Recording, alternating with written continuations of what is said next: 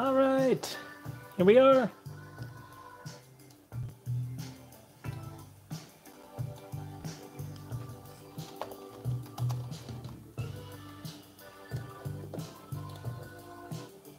I want to chat too.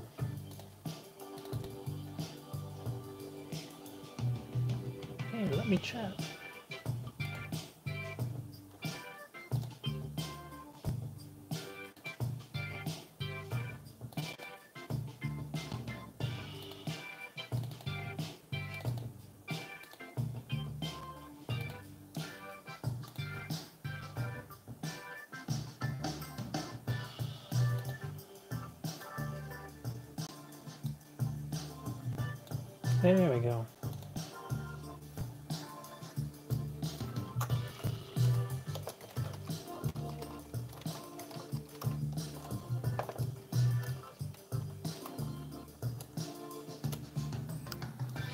Right, folks, welcome back. We got our music. We got a project. We've got a speaker. This speaker is not part of the project, but uh, this is one of those things that I love when it happens. Um, my pal Kung Fu Luke Kelly got in touch with me this week about um, a studio monitor, and I told him that I've been wanting to make a studio monitor for a while. Uh, some kind of like the mono Auratone type thing that that you see a lot, and uh, I told him the dimensions, and he took some time and made this beautiful oak and poplar uh, speaker for me. And I, am I'm, I'm ecstatic. This is going to be this is going to be great. We've got we've got I've got two of these. So next week you're going to see and hear uh, this for the music. That'll be the uh, that'll be our music. So yeah, right. This thing this thing looks great. So thank you, Luke. Big props. I don't know how I don't know how I could possibly shout you out enough for this. I mean, two of these, uh, two of these things on my desk are from Luke. Thank you, Luke. Uh, yeah, Luke's an old pal. Tiger Race is first. I don't think you are first, Tiger Ray. I think Casey got you beat this week. All right, that's going to go in the corner for now. And we're going to get to work. Folks, I asked you what you wanted to see this week, and you, not unanimously, but you were all pretty pumped about the Atari Synth. So that's what we've got. The Forrest M Mims 3 Atari Punk console kit. And uh, I'm gonna, we're gonna cheat a little bit today. I, you know, if you've watched in the past that I like to try to do things on perf board Actually, this this needs to go out into the, the mail for Casey. Casey, it's coming. Uh, I just I don't I don't have you. I haven't forgotten, but uh, I also haven't mailed it. So, you know, I like to th do things on perf board. Oh, do I show you this monstrosity that I worked on last week? I'll show you half of it. Yeah, you know, I prefer to work on perf board because it gives everybody a better sense of what's going on. Uh, however, we're going to work from this little kit only because um, because of our time constraints. We do about an hour and a half uh, on this show. Uh, it's a little it's a little too much to get everything onto a perf board tonight. So next week with the mic pre, I will do that on perf board. And uh, even though even though all the parts would fit on a little uh, chip board like that, PCB board, we'll do it on a on a perf board. So uh, the kit is straightforward. You know, I'll talk us through it. We're not going to need to read any of this, but we will need this. This is our schematic. So this is based on a timer chip called the 556 timer chip, and this is uh, two timer chips in one package. So that's a 14 pin dip, which is here the 556 CN. So this is going to be probably the first thing we install. We'll install that. That'll probably be the last thing we install. And you notice I'm not touching the chip. Uh, I really try not to touch the chip until I've grounded my hands on something metal, something uh, like a large metal thing. So uh, probably the best thing I do before I pop that in is take a quick second, walk to the bathroom and or touch my radiator here behind me. Um, but that said, we can see our chip here. And like I said, I'll talk us through. Oh, I made, I made some notes over here so that we would get an idea of what each thing is doing and what's happening. This is a very low parts count, but if we had to jumper all of it on the board, it might be kind of a lot. Uh, Casey says he doesn't believe. I think Casey uh, says, I don't believe you're going to send out this perf board. I will. I'm going to send it. Uh, I'm only, I'm not quite a week late. Okay, I'm going to get to work. Isabel says, hey, how are you, Uncle Frank? Isabel, nice to hear from you. Hope you're doing well. Got quite a crew going tonight. Well, let me just pop these over here like this. And I'll show you what I've got going here. So this came as a box, just a, a regular box, a plastic box. I don't love these plastic boxes um, for the main reason that they don't have any shielding. This came as just a straight plastic box, no holes. So the instructions say this thing would take about um, a half hour to an hour to assemble. That is being extremely generous because I probably have a solid two hours of machining this um, plastic just to get the pots and the switch installed. And then, I mean, I'm, I'm doing this stuff a little bit uh, finicky because I wanted the holes countersunk, so I countersunk some holes to fit the speaker. And I drilled a bunch of holes for the speaker in a pattern. That took a bit of time, but still, you would still need to drill holes for a speaker. You still need to drill holes for offset uh, standoffs, and you would also have to drill holes for the pots, which we have here, the controls. Um, I pre-wired the controls just to make it easier for tonight, but it's pretty obvious and straightforward what I did. Same thing with the switch. It's just a SP, ST, single pole, single throw, on, off switch. So when it's on, it's on. When it's off, it's off. Just two wires coming off that. So a, uh, a hot, a, a mix, uh, you know, a straight mix, um, another hot, and a, and a ground. So that's all I did there. And I glued in a little battery clip just to save us a tiny bit of time tonight. And I'm going to go ahead and get cracking. It's our little parts bag. I believe we're only going to need one of each of these. I think this is a, a pretty straightforward kit. This is a ceramic capacitor. I might refer to the instructions in a moment um, because, so this is a ceramic 103. I believe that is a 0.01. I think we only need one of those. And I believe this is a 10 microfarad cap.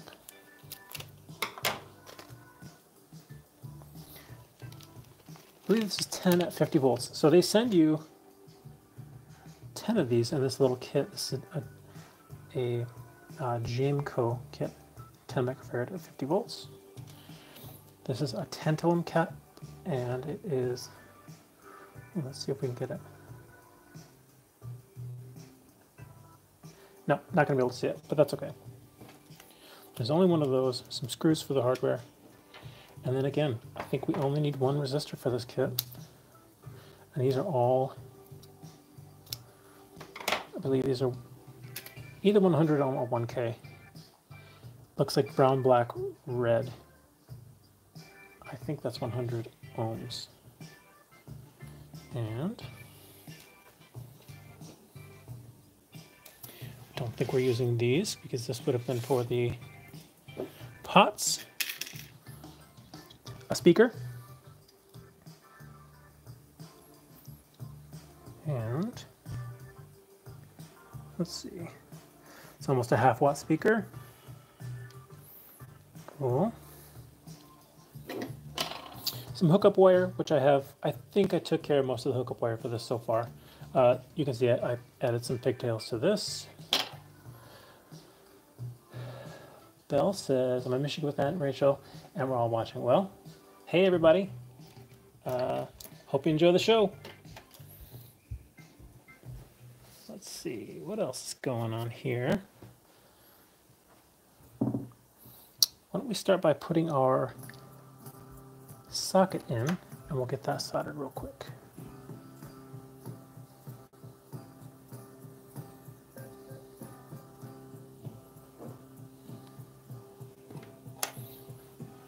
So you can see that there's a notch on these sockets and that corresponds to uh, the top end of the chip. So that's going to go in there. So that means that's going to be pin one. Right here. Pin one is always the upper left hand pin of the chip. That's how we would read the chip. Okay. So we're going to set that in and I'm going to set it down and solder this. I'm not going to bend any of these pins. Um, set this way down here and it needs to just gently sit on something. I can sit on here. And I'll just tack this in.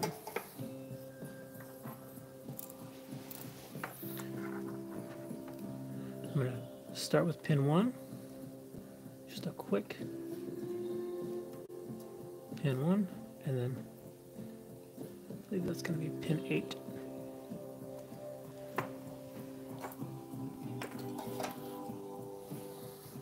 So those two should hold it in place nicely.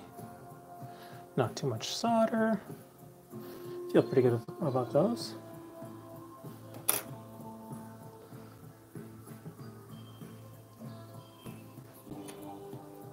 Bell says, sorry about tackling you. Still sorry about tackling you.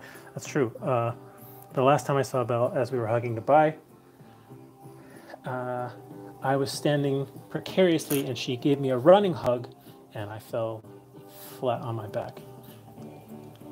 No problem. Didn't worry about it then, not worried about it now. All right, I guess wouldn't be Tech Tuesday without some serious knob considerations. We've got several. So these are the knobs that came with the kit. We could put these knobs on there, but I think it would be more interesting if you chose the knobs we were going to put on. We could put on those or these. So, A or B? You choose. In the comments, tell me what you think. Luke says, sounds like a clean hit. Yeah, she, she got me right off guard. It was, uh, it was a good time. All right. Let's populate our board. Generally, when you're working on a kit like this, you'll populate your board and then you will solder everything before installing it into uh, your console. Um, so to be a little more specific about this project, this is an Atari style synth. It's going to um, have two controls and a volume control. And I believe one changes the oscillation of the control and one changes the cutoff.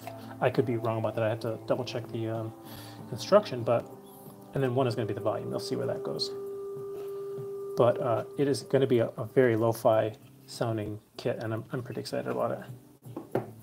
All right, let's populate. So we're looking at BT1, that's going to be battery 1, C1, capacitor 1, C2, capacitor 2, C3, capacitor 3. S1 is switch 1, R2, resistor 2, and then we've got resistor one, two, three here. So you can see these are shaped like um, potentiometers. That indicates that those are where the, the pots are going to go. And the speaker. So anything that wouldn't fit on this board, like you can see that the speaker obviously wouldn't fit on the board. Some speakers would, this one will not. Anything that has two, two uh, holes like that is going to get flying leads like this. So um, as we populate these for final, final assembly, you know, one of these will go straight in, get soldered on the backside. So that's how that works. Be ready for it. We've got already some votes going. We've got an A, we've got a B, and we've got a C. We don't have a C up. Maybe Casey knows something I don't. Uh, I mean, I do have, I do have a few other little. I don't think I don't think I have anything else that's going to fit. This is still going to be option B. So keep the votes coming. We're we're we're going to come back to them. Okay. Let's populate. So generally, as I'm populating, you can choose how you want to install your components.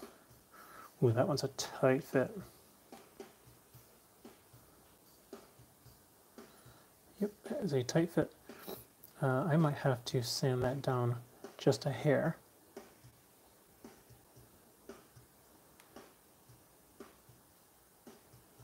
Ooh, yep, so let me, let me pull one side of this down. There's no reason that one side should work and the other side shouldn't.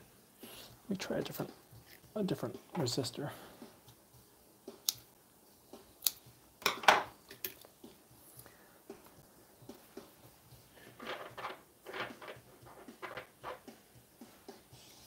there's some contention about the knobs happening.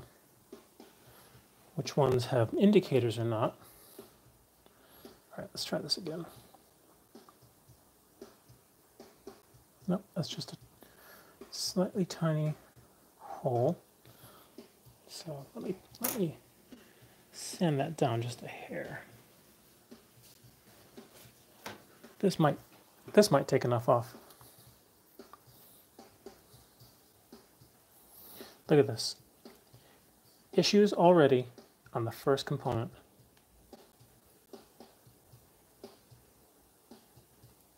So I will say that if you, you could probably put this whole thing together um, in about 30 minutes if you didn't have a case to contend with.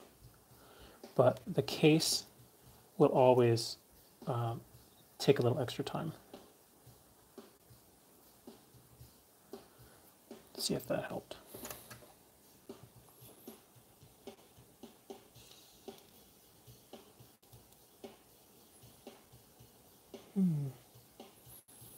Not quite. All right, we'll come back to that. So C1 and C2, one of these is uh, tantalum and the other is ceramic. I'm going to go with easy number C3. And uh, you'll notice C3 is polarized.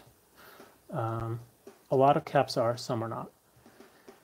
So these all show a polarity. Um, the ceramic cap wouldn't have a polarity. The tantalum cap might have a polarity. And I'll double check to see which one should be which. But you see here, we have a negative stripe on aluminum electrolytic. That's generally how they're in, uh, marked. There's an indicator for negative, generally not for positive. So, and for example, the opposite of what I just did. Okay, so positive, negative. Pull that to one side, keep it in place. Pull that to the other direction to keep it in place. And then we'll snip that in a few minutes. Okay, let's find out which should be the tantalum cap. C2 is the tantalum cap. So let's talk a little bit about caps. So inside these caps um, is a metal element and some sort of dielectric element. And they each have different sounds. Um, one is going to, I mean, we could talk generally about how they sound, but uh, one will be brighter than the other. Generally, people would consider ceramic caps to be very bright, but people would also say tantalum caps are also very bright. They might be bright in slightly different ways. That's a little different than, where'd my cap box go?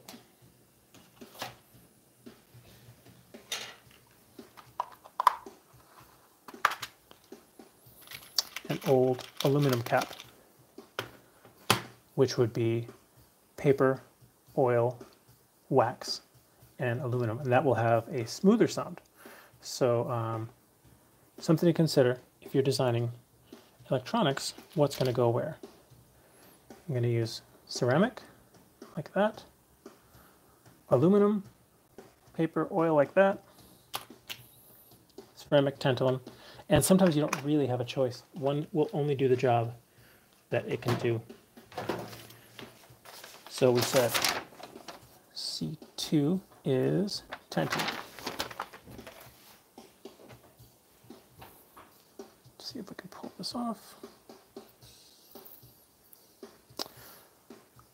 Kung Fu Crime Wave says, why isn't the synth box made of wood? That's a good question. Uh, why isn't it made of wood? I don't think either of us has time to be making synth boxes out of wood, but perhaps, perhaps one of us does have time. Okay, so we're going to look for the positive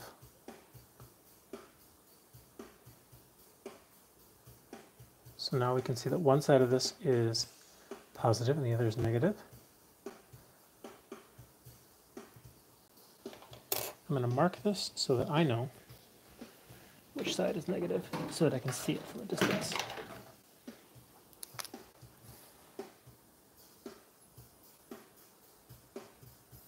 Just going to give it a black stripe.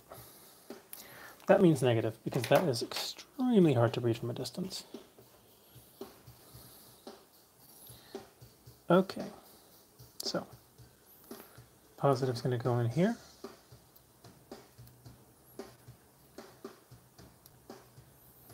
Just like that. We're going to give it a little, a little room. And then we're going to fold the back like that. Maybe we go slightly different directions keep it away from those pins. All right. That leaves C1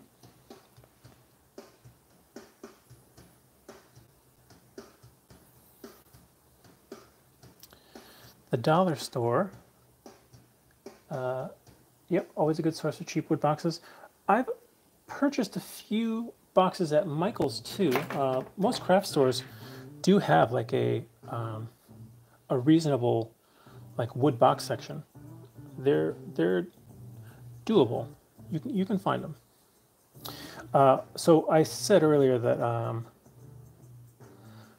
that I don't love plastic boxes they machine really easily, and I do like that, and they do have a nice look. So um, some things like this are probably fine. It's it doesn't offer shielding, which is something I like in in aluminum or um, or other boxes. So, for example, we'll, we'll, come back to this in one second.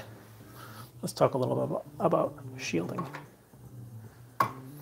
Uh, if you've been here in a, in weeks past, uh, you've seen these uh, isolation, isolation boxes I've been working on.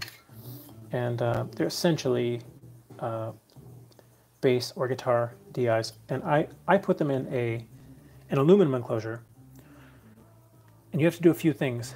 One thing is you have to make sure all the parts are going to make conductive contact to each other. So for example, you can see that I ground away uh, some of the powder coat here so that when you screw these together, they'll make good conductive contact inside. Now the finished product, I would be remiss if I didn't show you. This little uh, DI box that I made has an attenuator, has a ground lift, uh, some high Z inputs, some low Z output. That's a, an input and a through. Um, and this is essentially just a step up or a step down transformer, however you want to look at it, inside with an attenuator and um, an SP ST switch. So uh, I'll have more on this later. You saw me making this one if you were here a few weeks ago. I think this was my second show. So same thing. Um, why don't we look inside? There's no time, no time like the present. We'll come back to that. We've got we got a few minutes.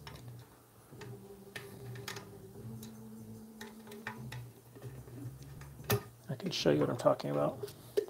So again, made this is steel, slightly different.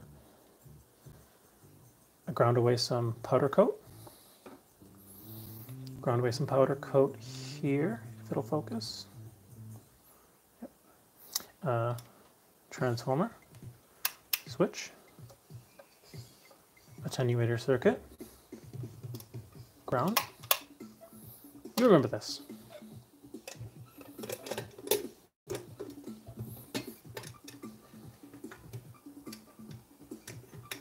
All right.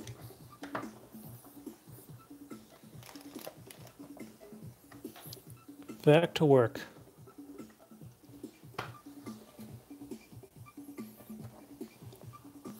C1. So we'll also, we'll come back and talk about what we're doing here in regards to the schematic, because I want us to see what's happening as we're working. So those are our main components here. So what have we done?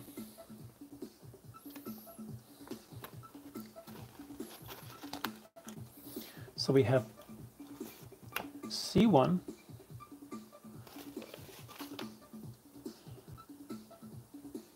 to pins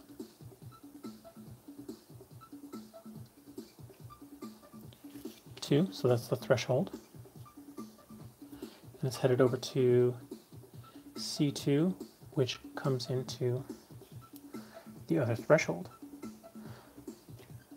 So this is going to be uh, part of the circuit that like opens up this um, this gate essentially. And then we have C3, which is going to be our, that that'll be our output. Uh, which well, let's look. Let's see where C3 heads. C3 is on the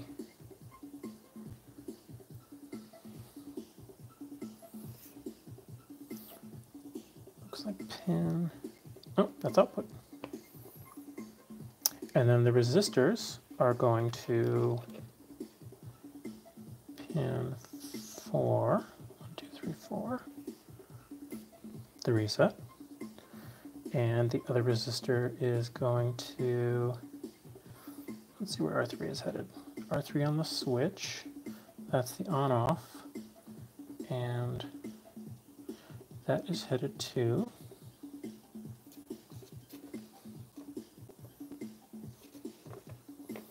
the discharge, which is also connected to the output. No, excuse me, the reset. So they're pretty interactive between the threshold, the reset, and the trigger. All right. let's see if we can get this to. I'm going to cut this at an, at an angle and see if I can't get one side of this through. I wasn't able to scrub away any. I think this hole's just plated a little too too thick. It's going in about half a millimeter. One side's going in all the way. So maybe if I spin it. Oh, there it goes. Okay, great. So we could keep this upright or we could pull it down. I'm going to pull it down.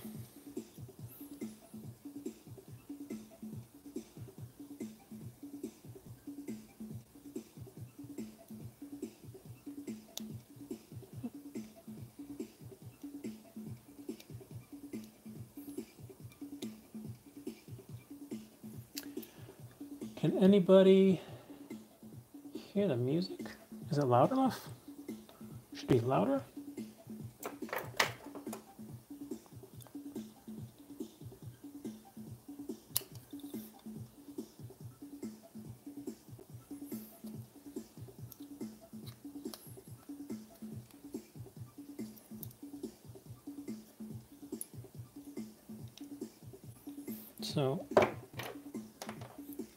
Usually I would lead bend, bend a lead on this. Maybe I'll, I'll straighten it out on the top here.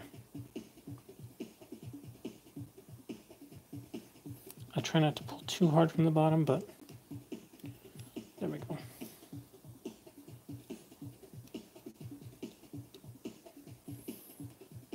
Okay, that's close enough for me.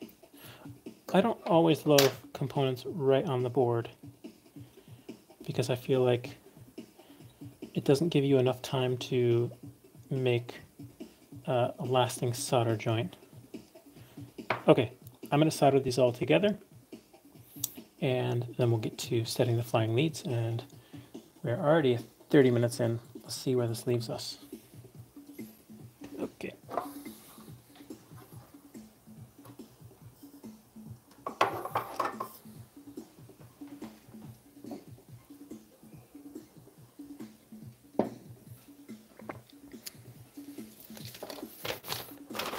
Delve. R1 controls the frequency of the audio oscillator. R2 controls the output pulse duration of the monostable multivibrator. R4 is the volume control. So there you have it. R1 controls the frequency of the audio oscillator. R2 controls the output pulse duration of the monostable multivibrator. Easy, right?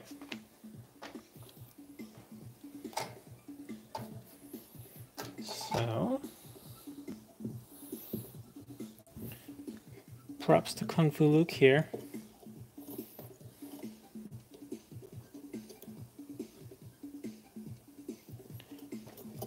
I haven't had one of these uh,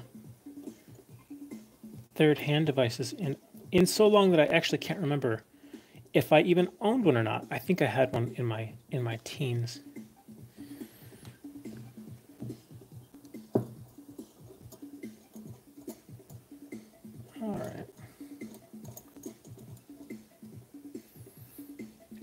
Think we'll need the, the magnifying glass. Will you be able to see it with the magnifying glass?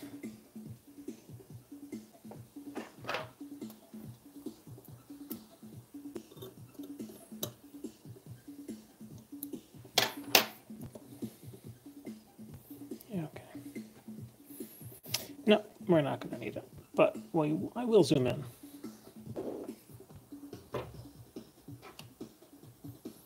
Because this is what you came for. I know why you're here. You are here for the soldering close-ups. And I'm ready. I'm ready for you. I got you covered. All right. Start at the back side. We, we shock our iron tip.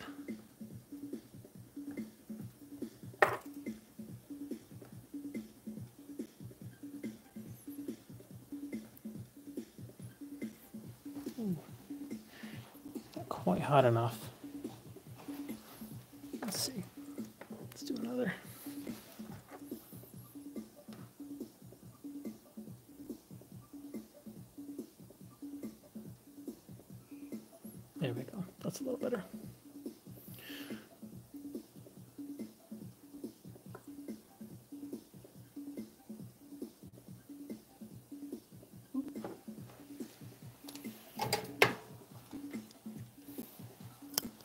Now this is our electrolytic cap. I don't want to. I don't want to go too long on this one. This one's going to be a little. There we go. That's enough. And I'm going to wait to do the other side because electrolytic caps are very sensitive to heat. So I'm going to come up here and do this one.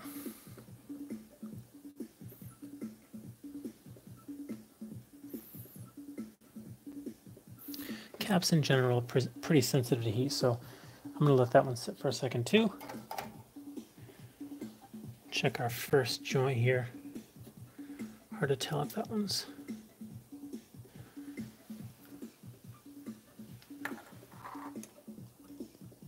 okay, that one's good. These are all pretty solid. Nothing's moving. I've got two left.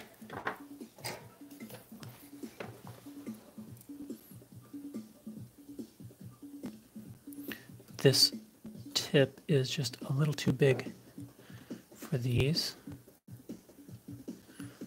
So I'm not trying to put too much solder on there. Now we'll check.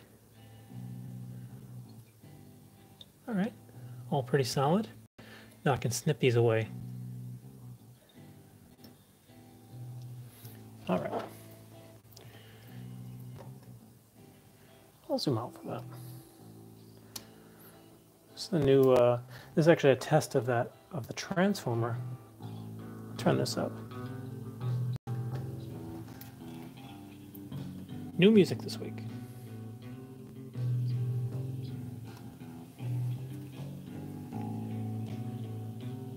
So, pro tip, sometimes if you have a nice long lead left over, you could save it and resistor leads make excellent jumpers. So if you ever need a little jumper, that's a, a, a, nice wire. I'm not saying save every little scrap, but if you have a long one, you'll be surprised. It could come in handy.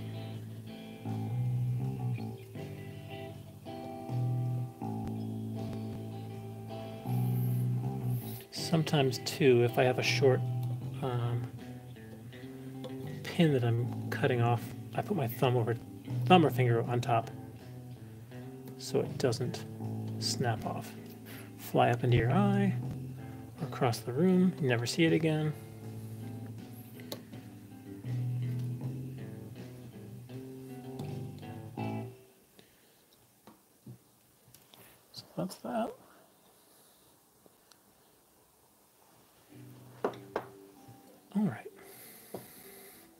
Solder these other pins our socket pins. This is going to be a trick right here with this big bulky tip I've got.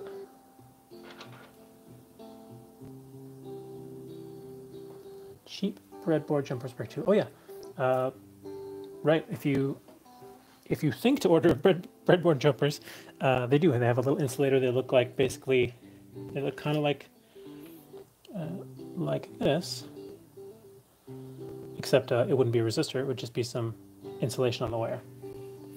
It's a good tip. All right, so let's see. Let's get in here real close, real quick. Just one. This is where this thin solder comes in very handy. Uh, this is the moment that I'm glad I bought this thin, thinner solder. I've had thicker solder in the past, and I really do like it for most things. But this thin wire, this thin solder, that one looks a little, a little gray. So I can tell my tip needs to be cleaned. See that it's getting a little funny. So shock it on your sponge. We're back to shiny silver. Oh, this is another new song. Uh, this is a song idea I've been working on. This is just the riff. And I think this also came out of some transformer work, and that's over, obviously.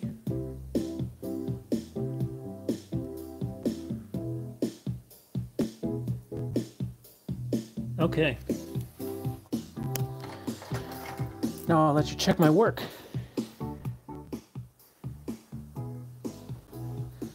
I'm gonna say I'm pretty proud of these.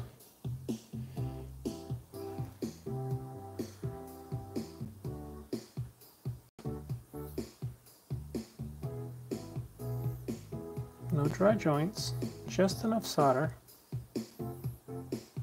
Everything looks pretty good. Soldered onto the pads pretty well. Uh, this could use a trim.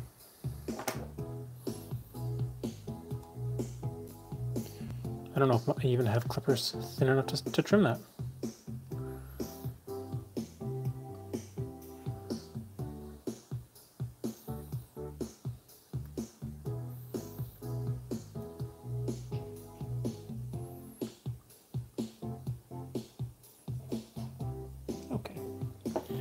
Pretty close.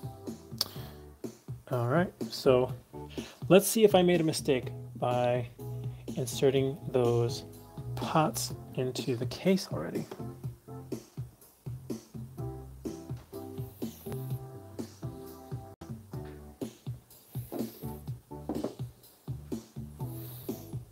Okay, there's the top half of our board.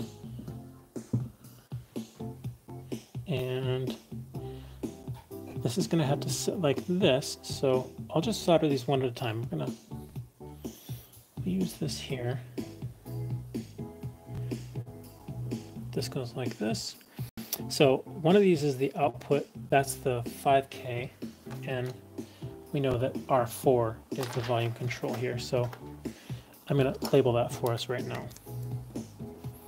I put the 5K in this position. So this should be,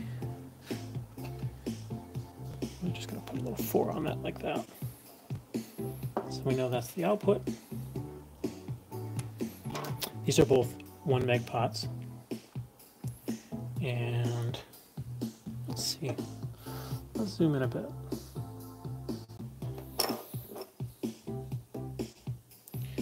So R4 is gonna have to go over here like this. Is it gonna fit?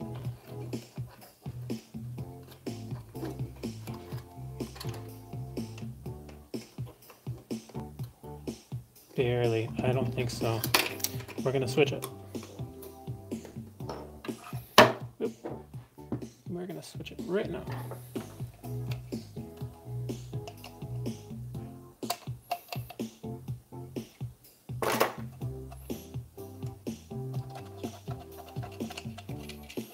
So that was my ideal location. I like I like having um, outputs or master volumes um, all the way on the right hand side of a faceplate, but we could also have it all the way on the left hand side. I think it doesn't make as much sense to have a volume control in the middle of a batch of knobs. I don't mind having it on the end.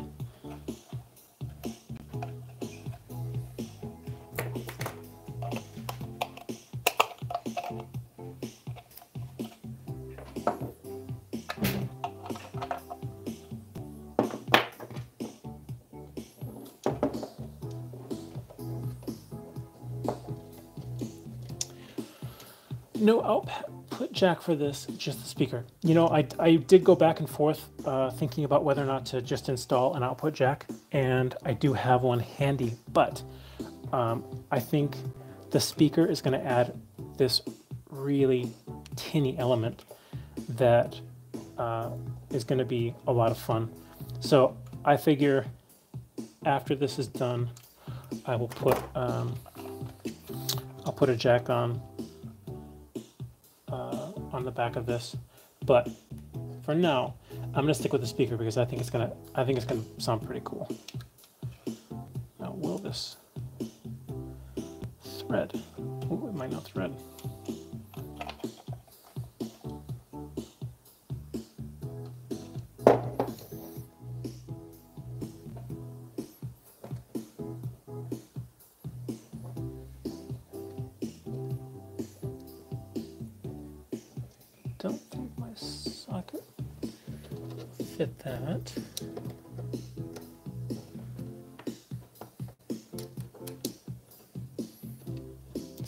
Ground out some material from the backside, but for some reason, oh, there we go.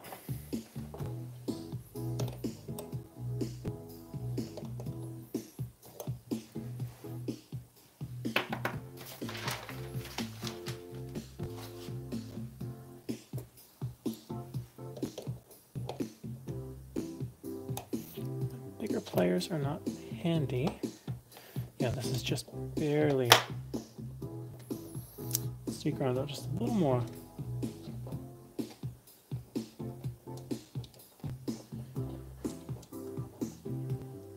Only time I don't put volume first is if I'm doing a gain channel for an amp. Oh, okay, right.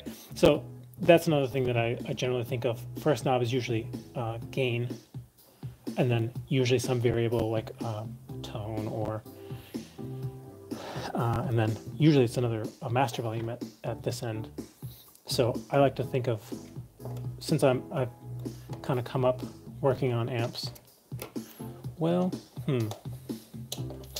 This is going to be. This is going to give me trouble here. So yeah, I generally do like to think of. Let's pull this out.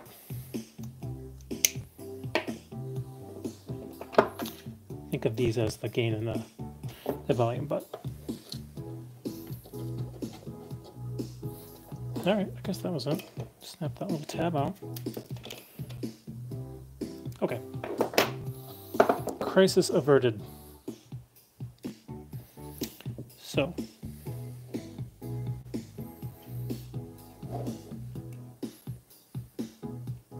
Pin one is going to be our square. So we're going to give that the blue. I should do these from the top. Such a trick. I might do these one at a time. So this is going to be R1 because this is our volume.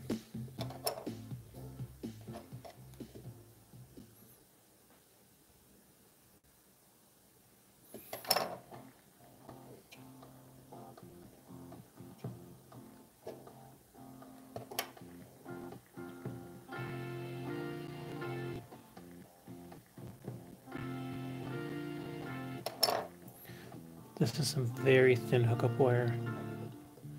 A little thinner than what I'm, what I prefer, uh, but they sent all black pickup wire or hookup wire. I'm gonna do these one at a time because I just don't think they're gonna stay. They sent all black, and I hate working with all of one color of wire. Uh, it just gets too confusing. I'm gonna thank Casey again for sending me this music these are his compositions. Uh, Casey is a composer, engineer, and overall talented musician. Uh, and you can check out his music at caseyholford.com. Is that right, Casey? I think I got that exactly right. Um, I've been to, to your website a number of times, but I can't remember exactly if that's the, the website. It just occurred to me to. Uh, to drop it on the air here. Okay. Oh, of course. And in doing so, I pinned this wrong.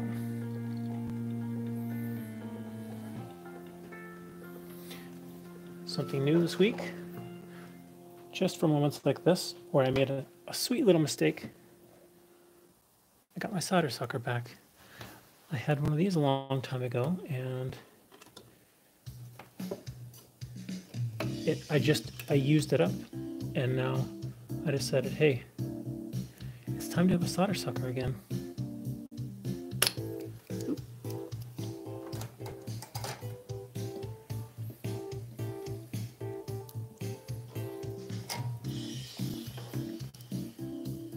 But they're very, especially on stuff like this, they, uh, I might have to do this off camera. It's, it happens so quick, you pretty much have to do it from one side.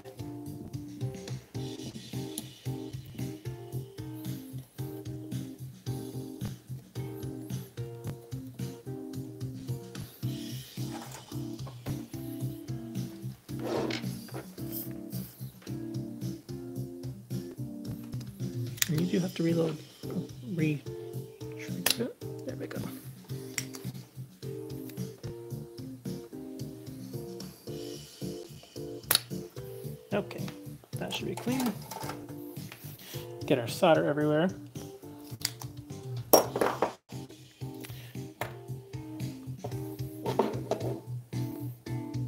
Okay, blue's gonna go in number one, yellow's gonna go in number two.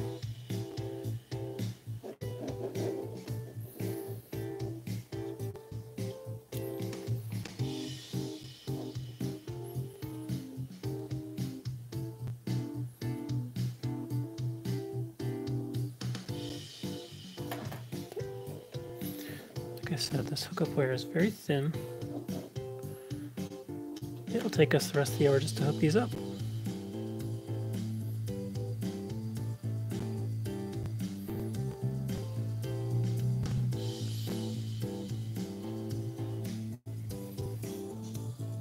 Maybe I'll try this from the top. I'll give it I'll give it a dab on the top to hold it. We'll tack it in place.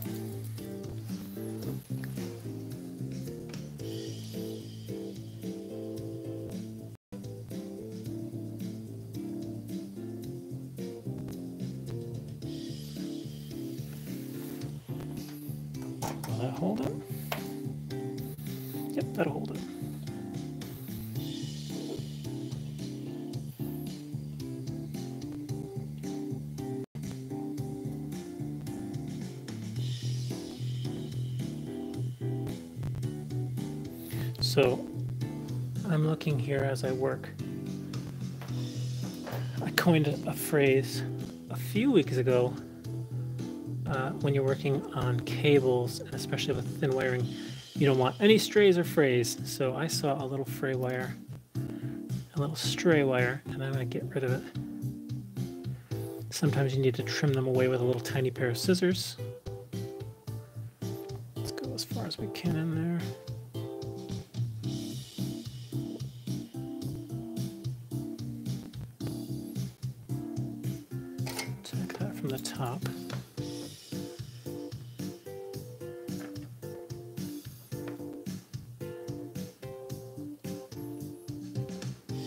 I have new tips for my iron.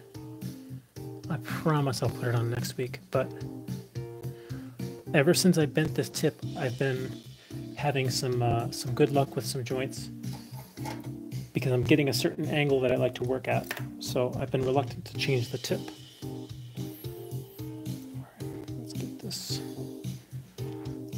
Last one set in here.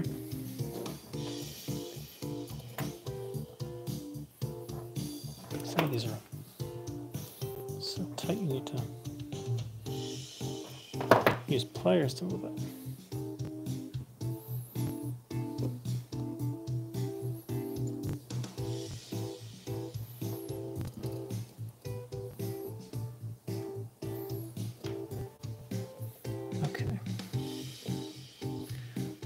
Be a little tricky because it's thicker. I can tell. Not going to want to go in as well.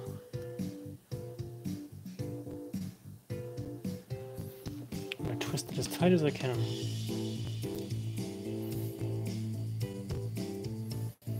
I wonder how many wire ends I've twisted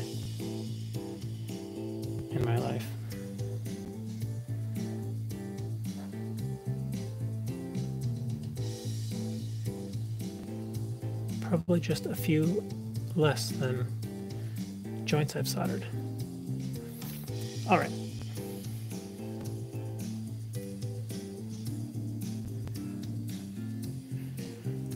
Do I like solder wick?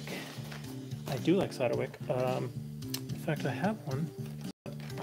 I usually keep it on my desk here, and that's what I've been using for the last few years. Um, I got turned on to solder wicks.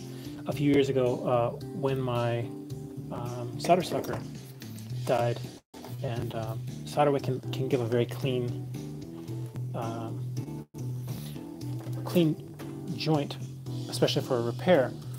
But in moments like that, with a, a, a pad trace, sometimes it can lead to a little bit of trouble.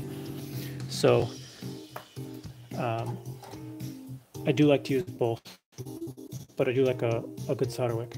Solder wick is essentially basically a nice clean braid of copper that will pull solder with it when you heat it up. So we're going to touch these up from the back side here. Make sure they're set. Good there. Those other two look fine. I'm going to clean them up though, because as you can see, we got trouble right there.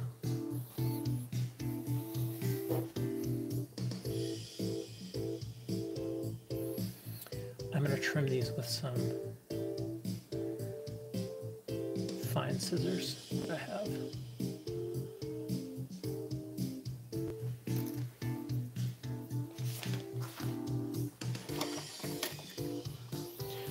Intricate, intricate work here. These are like uh, vinyl cutting scissors.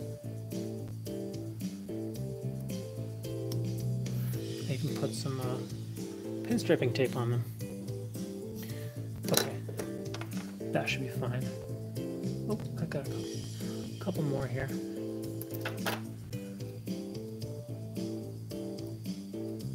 There we go. That one should be fine. That's gone. I'm not worried about that one. It's not going to magically move over. All right, one down, two to go. R4 is going to be on the end. R3 in the middle here.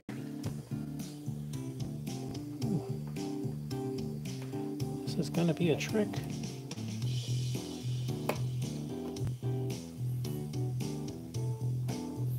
Oh yeah, there we go.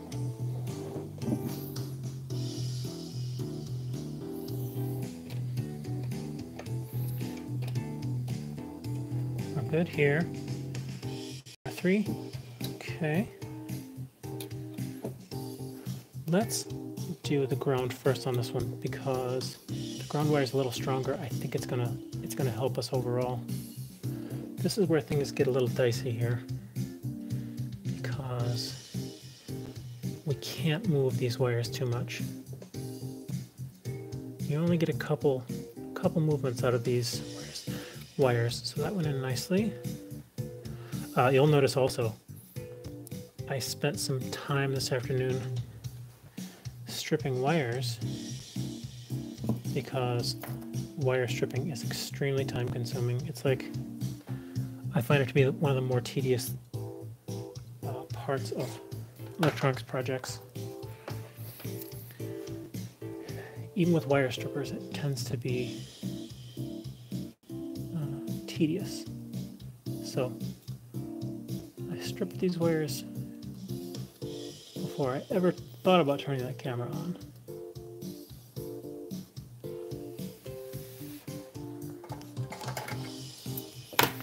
So that should hold that in place.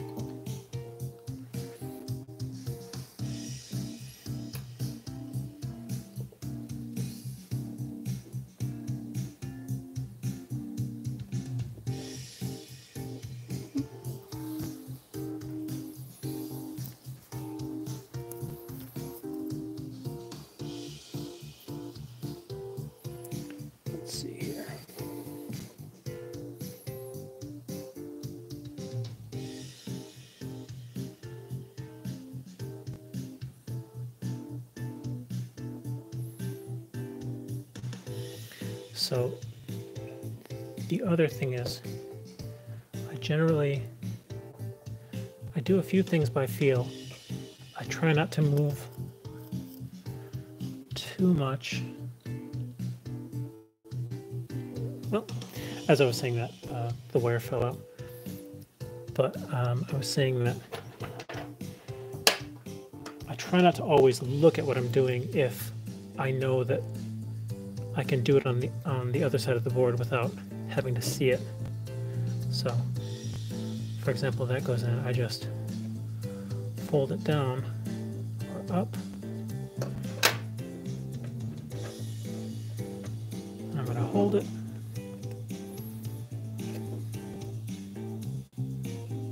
And I'm going to solder it.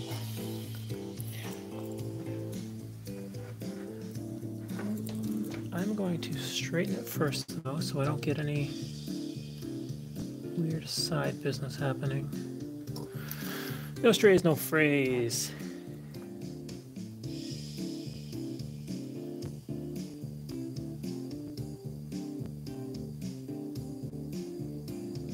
Uh, how about everybody? Has anyone been working on any electronics projects recently? Uh, I haven't been here for two full weeks. I was here 14 days ago. Is the last time we all chatted.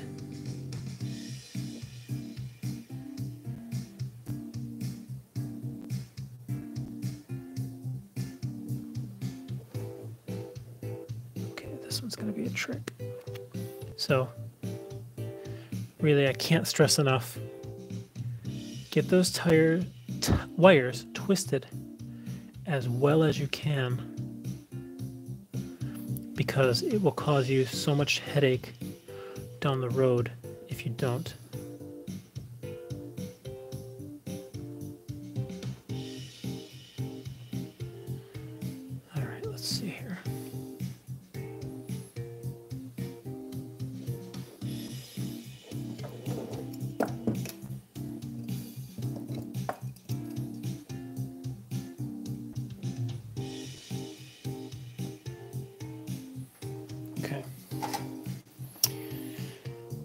Yeah, uh, tiny little frayed wires are a huge, uh, huge source of headache for hobbyists and elec- electronic technicians. One little stray wire can cause so much trouble.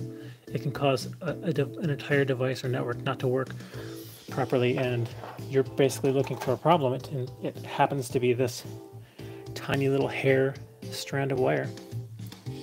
So those three are in.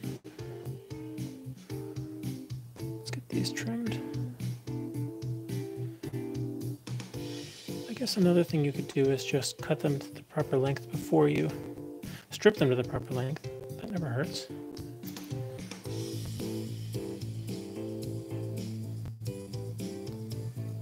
I guess if I'm giving advice, I'll just keep giving advice.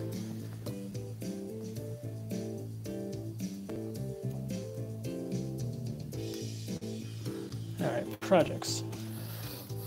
Doing Star Quad, Frank style. Yeah, uh, we've talked about cables.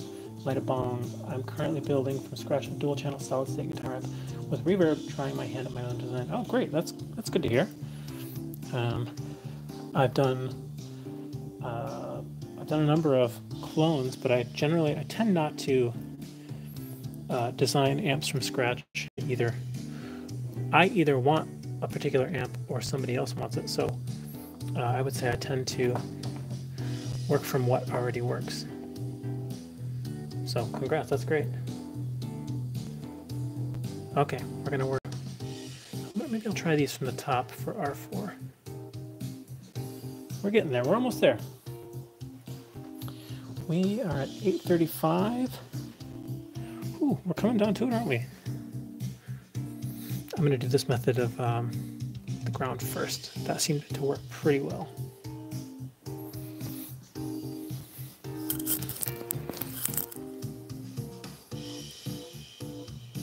Give it a nice little bend.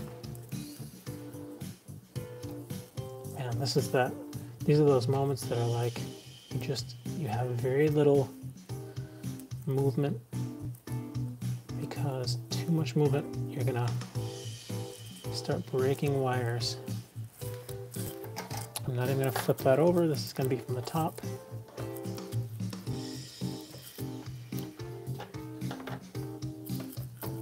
Nice clean.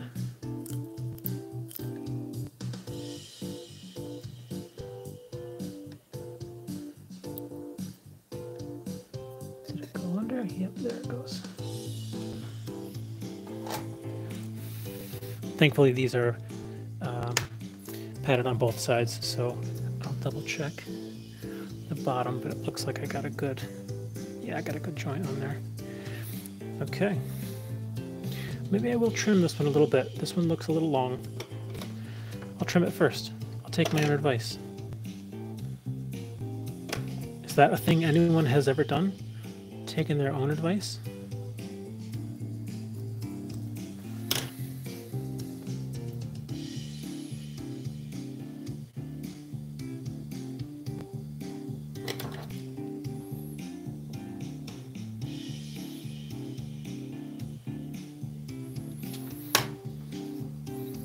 That going to be the thing? Is that going to be the thing that comes back to haunt me?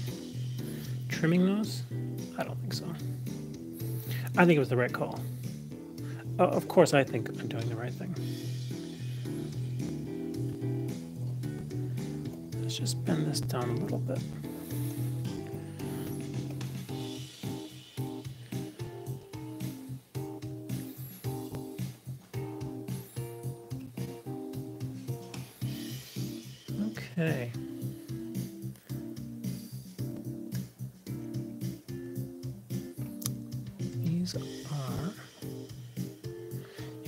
Also tied these these uh, wires together. I feel like that has been helpful actually, but I also think it's adding a little resistance, which is a little uh, a little tricky I feel like this is going to bounce right out as I solder it. I wonder if it will. I'm gonna, I'm gonna bet that it will. Clean up my tip.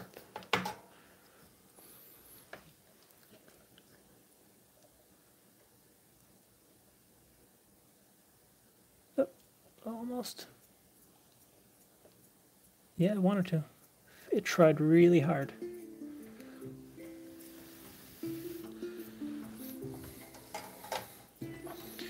All right.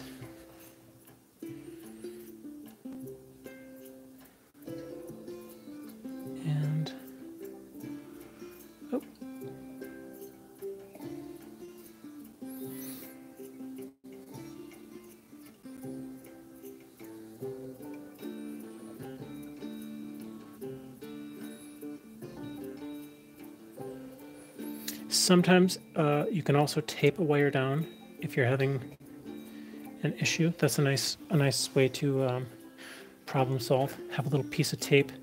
Uh, I have tape on hand all the time, just to do stuff like this. You need it to sit in there. Put some tape on it. So that can that's a good problem solver as well. All right, folks, we're coming close. Oop, don't touch the cap.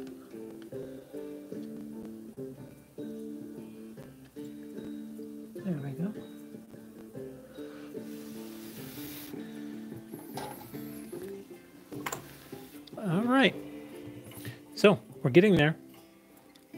We need to wire our switch. We need to install and wire our speaker.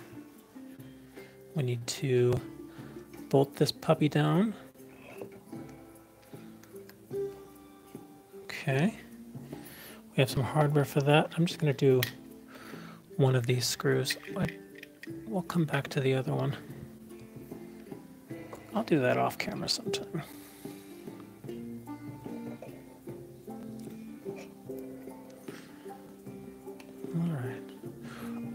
Coming close on the on the length there. I have to bend that down actually. Um, one of my pet peeves of my own work, and uh, it's something I've been trying to to be more um, conscious of, is neat wiring. Um, in the past, I've had some some questionable wiring practices, and sometimes if I go back and look at a an old amp or something that I've made, it makes me a little sad if the wiring is uh, untidy, and I'll I'll end up going back to to resolder it anyway, to rewire it. All right, I'm doing the switch. Folding these back. And then I will, yeah, that's, that's solid enough that it'll take a joint.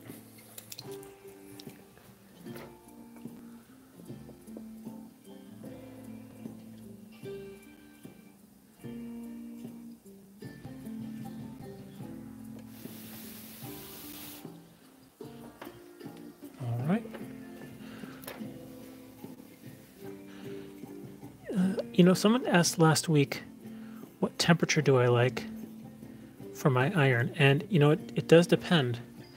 Today I'm working at about 325, I would say roughly 325 on this iron. I don't know how that, what that's coming out to be. I bet it's about 38 watts or something like that. If I'm making cables or using, like soldering a lot of heavy uh, braids, I will do heavier uh, I will do um, hotter, hotter temps. So, for example, if I'm working on a braid, you know, a thick, heavy copper braid, I like to trim it as, as close as I can. I don't want to be working with a huge braid, um, but I will use a slightly hotter temperature, so maybe like 350 or something like that. You know, it's a trade-off because you don't want it to melt anything. You don't want to melt the insulator. Uh, you know, everything's like ebb and flow. Okay, we're pretty close. Uh, we have a battery to wire in. Let's do that.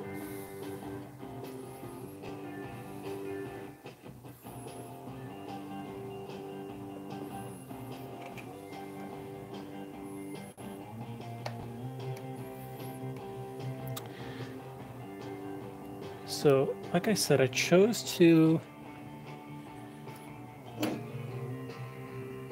I chose to mount these pots first because I, I just knew that I wouldn't have time to do it on camera.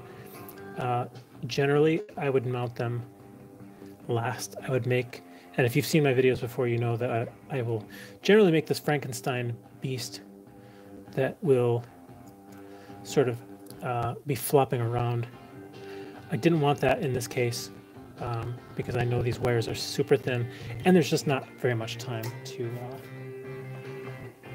to get everything installed. So I think I worked my way around it.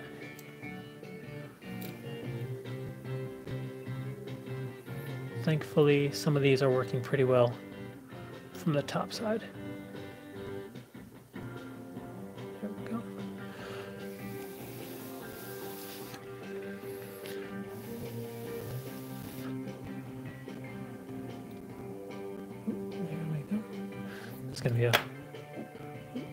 Dirty.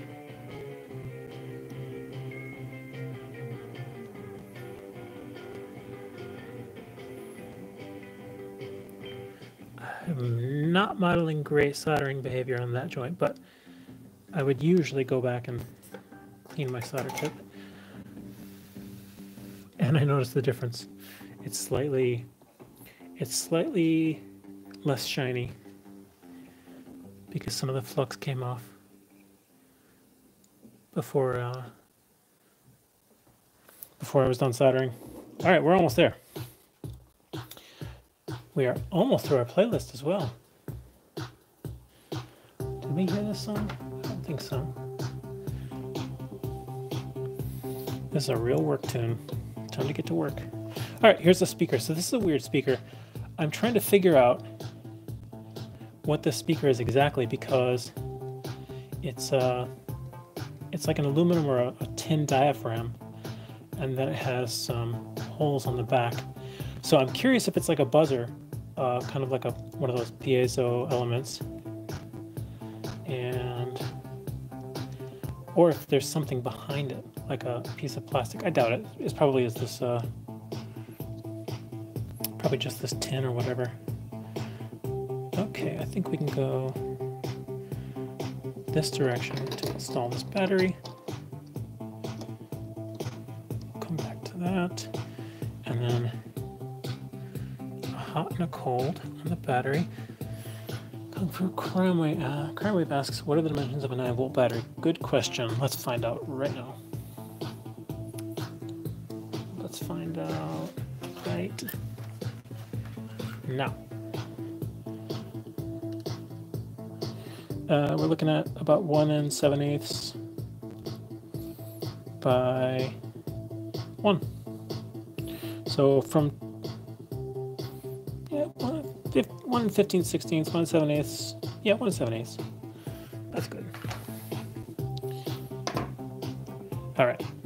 Don't let me forget layer this up. Folks, we're in the home stretch. This really is close. Any luck, none of my wires will break. None of these questionably thin hookup wires that I chose. Like I said, uh, the kit, this kit came with some thicker wire, but it was all black, so I chose some wire that I had on hand. This is like some very thin. I counted the strands even because I was like, is this gonna work or not? These are seven, seven stranded, seven little copper strands. I'm gonna give this a little extra leverage here. Get that, get that third angle in here.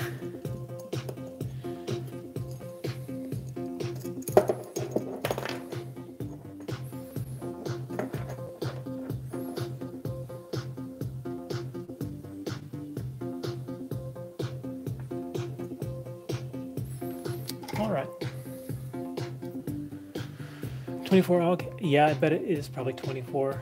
Um, could be 22 or 24. It's pretty thin. Or 24 gauge, I should say.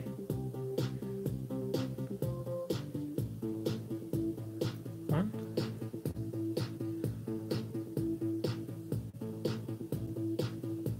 Right through the insulation. Great.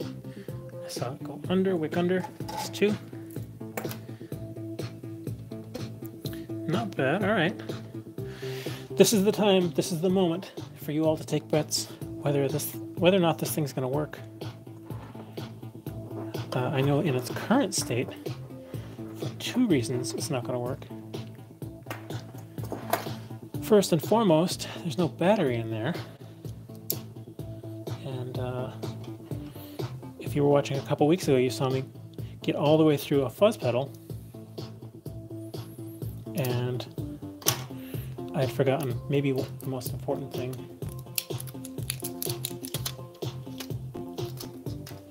Battery here. We'll come back to that. But we haven't installed our chip. So give me one second. I'm going to ground out my my hand, my body, and I'll be right back.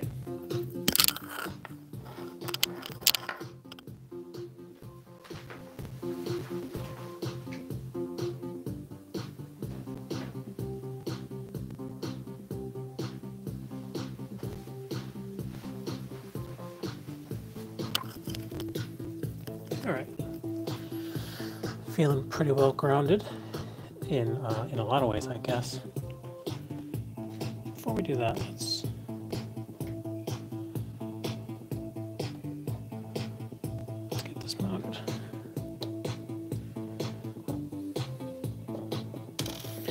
This is going to be a little trick because it's a tiny screw. I got big hands. Who knows? Who knows what's going to happen? I know it's not going to look great on camera, I can tell you that. Alright, we're close.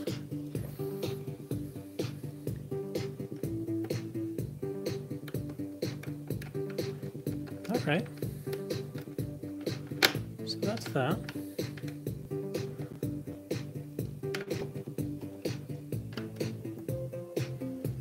Leave myself room to install this chip?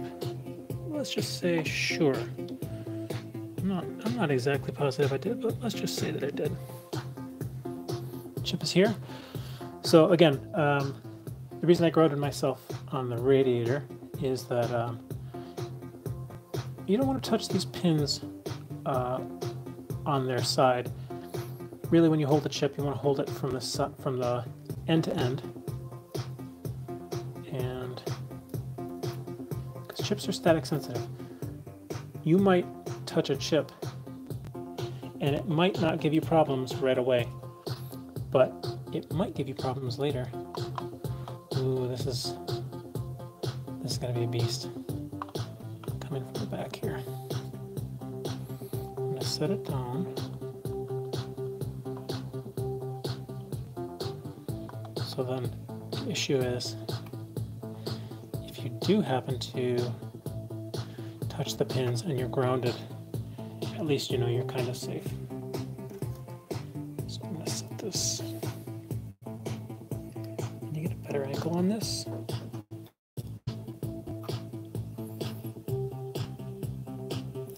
usually go for one side first and not I'm not going to push like way into one side because it'll bend the pins. These pins bend, bend very easily.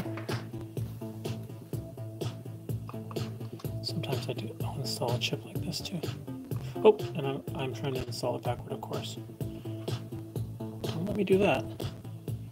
Nobody warned me. So, uh, here's what I meant by backward. See, there's the little U. And here's the corresponding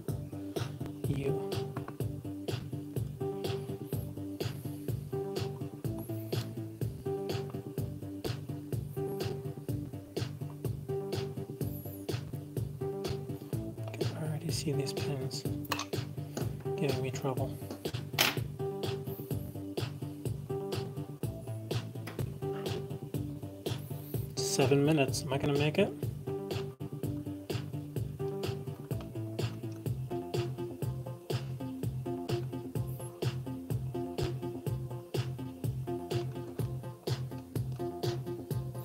when I set this down. I was going for the higher resolution, but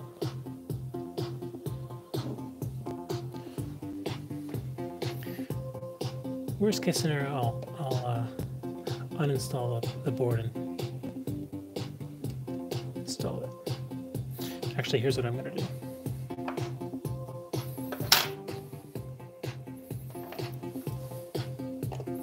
Let's just get this out of the way.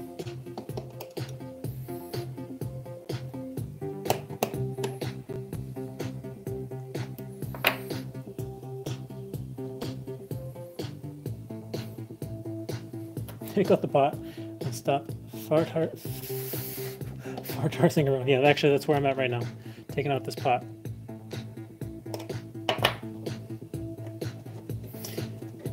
Alright.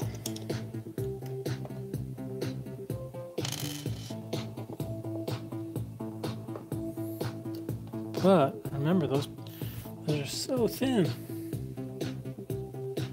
Alright, now watch. I'm gonna go right in.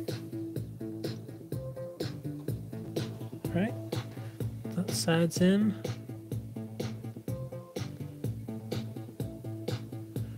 Nice and straight. I'm gonna, I see one side bent out.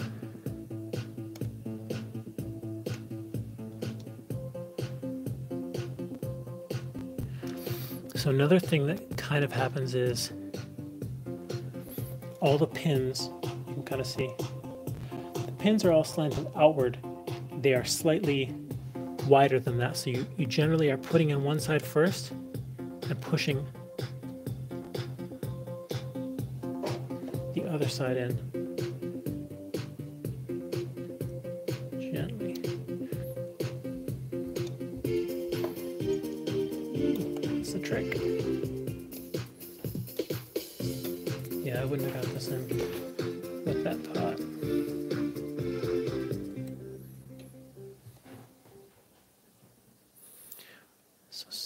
sometimes you have to, I'm going to modify this little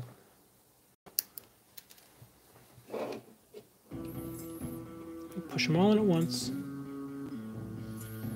Should go right in.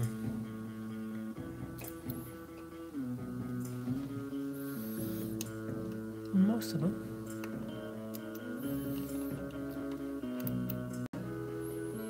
So close.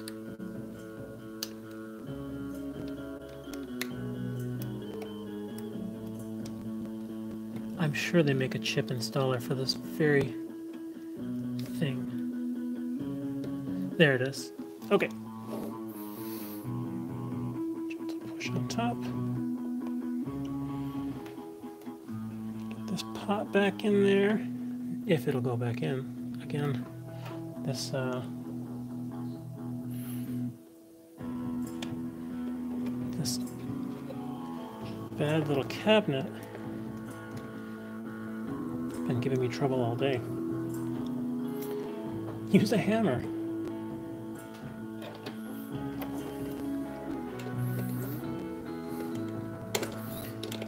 A dual 555. All right, I think that's it. Which way is our switch installed? Is it installed correctly or is it installed upside down? We'll find out in a second. As soon as I install that battery.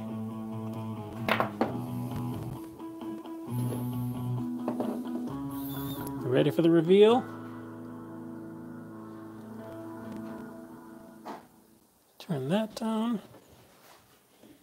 Oh, actually, before I do anything else, let's get the speaker secured.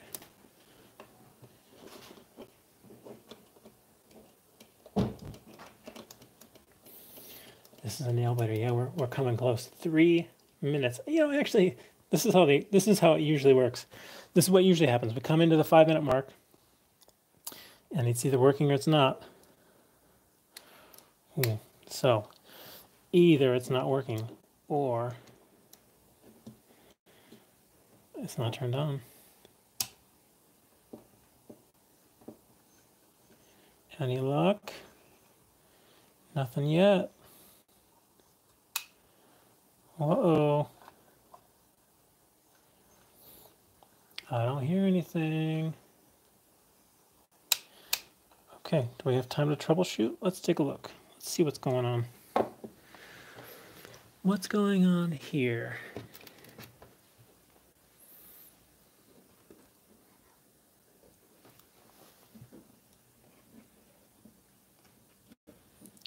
Something happening here.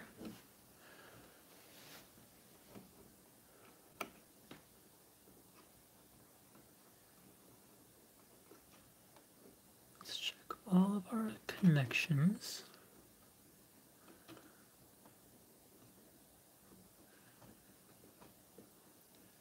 Sometimes it helps to, to prod a little with a, a wood pick. This is all low voltage, so I'm not too worried about getting a shock on this. There it is. I'm guessing it was that. Whew! Now that, that is it. Trouble? Shot. Trouble shot. All right, folks. Oh, that was the battery, guarantee.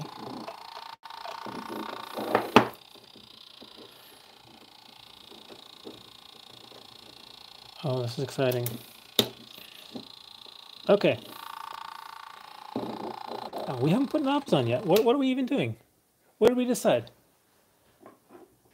Luke, tally up those votes. What, what do we got going on here?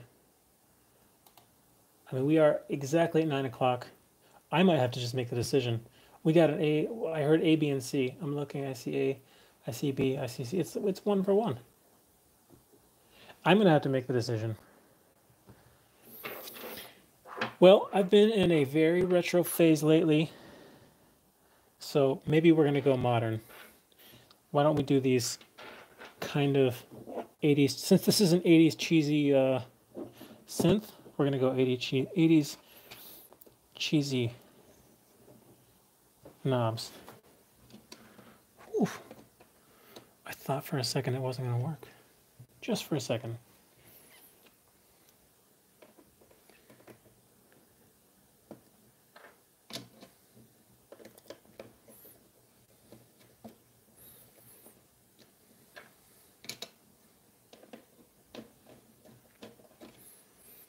So don't forget, next week we're going to do a microphone preamp.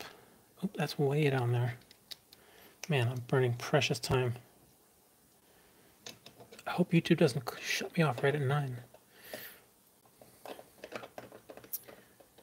Yeah, we got a second. All right, there we go. Knobs installed. Trouble shot. Fixed.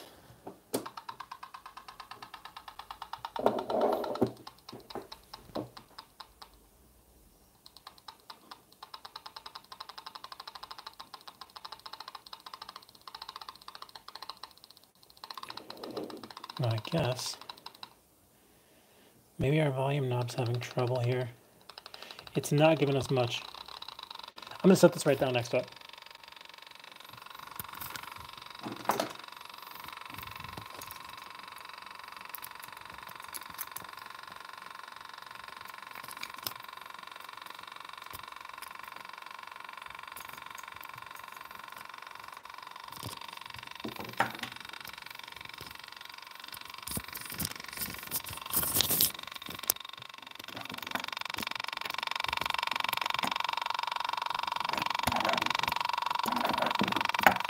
All right, I bet you can hear that.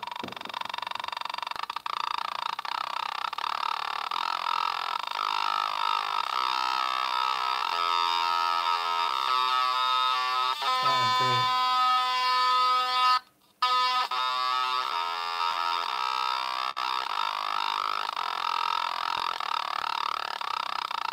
Yep, that's a stepper.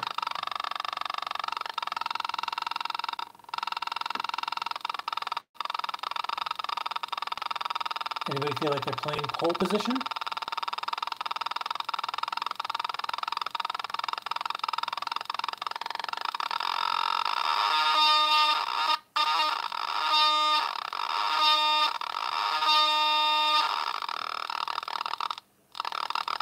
Yeah, cool. There's a sweet spot in here.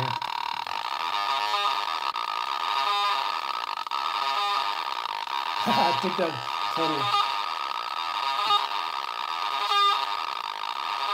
This says definitely, definitely need a line out.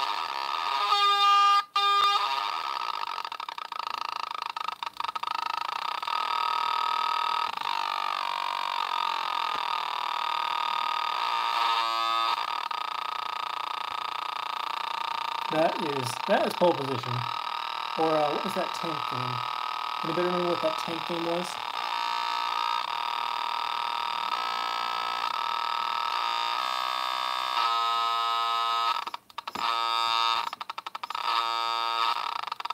Cool. All right. Well, I could sit here all night and do that. Um,